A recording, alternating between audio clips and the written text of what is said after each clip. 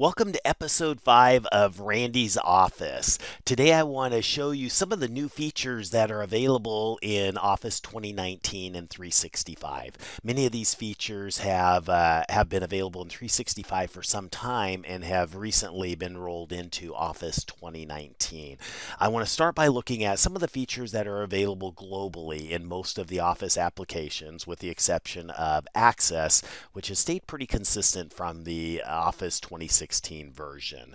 Um, then we'll look at some of the new functions that have been rolled into Office 2019 in Excel, and then finally looking at the uh, designer in PowerPoint. So let me start with some of the global features that have been that have been added to Office 2019 and 365. First of all, the autosave. If your document's saved in OneDrive or any of your files are saved in OneDrive or SharePoint, the autosave feature is on, which automatically saves as you make changes to a document. It shows up here that it's saved. You can even click on this and see where it's saved and all of that information. So that's a nice feature. You could turn that off at any point just by toggling this switch off and the default setting for autosave is in the options menu that you can turn on if you don't want that if you don't want that feature on. Um, also sharing sharing's been available for quite some time but um, in order to share a document has to be saved on OneDrive or SharePoint but it's been enhanced a little bit. The share button is in the upper right and opens up a new window and here you can control who actually has access to the sharing link. You can say anyone you can allow editing or just make it if you deselect it that it's view only. You can set an expiration date, and then you have the option of typing in an email address here in a message and sending that directly to a recipient or multiple recipients, or you can copy the link and, and email it in your own email or place it in an online location. You could also generate a link using Outlook here or send a copy like we've previously been able to do. So sharing has been enhanced.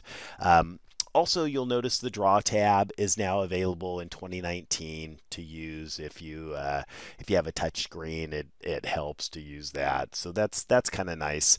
And then also accessibility. It's a, a nice feature. So in the review area, there's a check accessibility button now. So you could check the accessibility of your documents and files.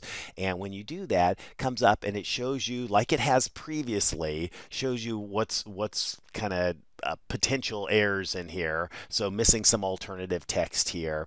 And now what's happened is they actually give you recommended actions. So from, from that drop down list, you can add a description and it's going to open up the alt text dialog box where you can add in a description for the alt text and then close that. Also, whenever you have something something selected, the alt text, if I select an image here, the alt text button is readily available on the uh, on the picture tools or on the tools format uh, ribbon in in the accessibility group. And you could also right click an image and get that from the context menu.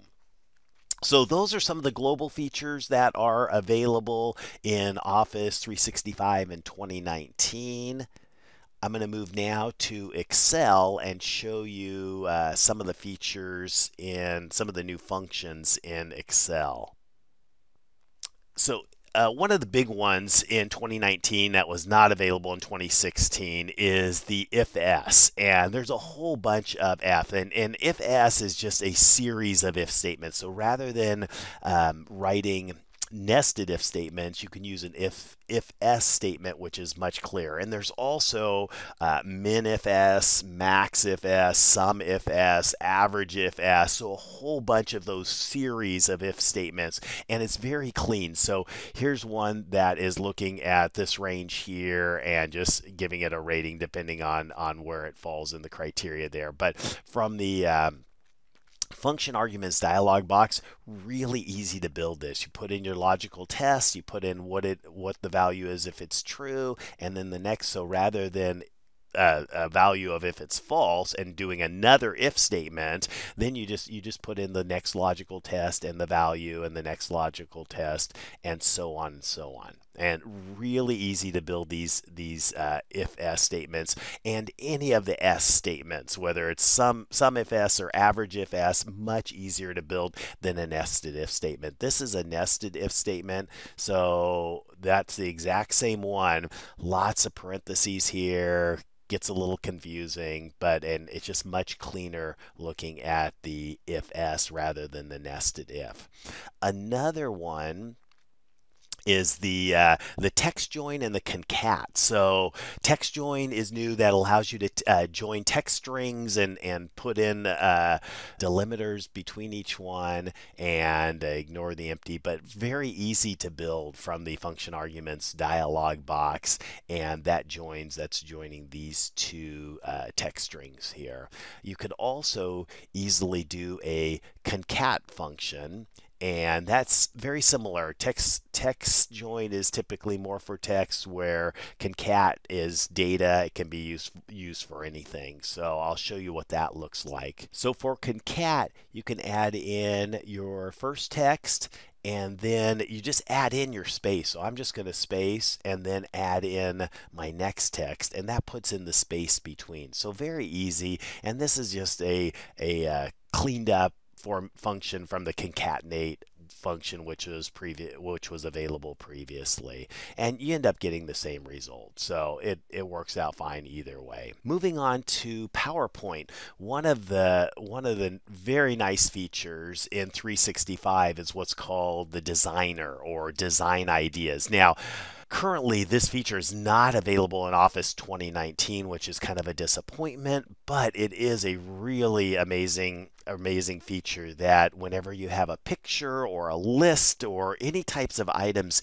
in a PowerPoint slide, the designer will give you ideas to kind of make your presentation look a little better. So this one I just put in I just selected a regular theme and, and just uh, dropped in a picture here. But if I click design ideas, it generates a whole bunch of different design ideas that you could select from. So if I wanted to do that, there you have it. And I have another slide here and I can do that and here's another slide with just a bulleted list of items and I can scroll through and decide which of these that I like the best and add those in. So in just a couple clicks, you can make a presentation look look much better. So that's it. I hope this was helpful for you and I hope you have I hope you're having a wonderful semester. Please contact me if you have any questions or ideas for a future episode of Randy's office. Have a great day.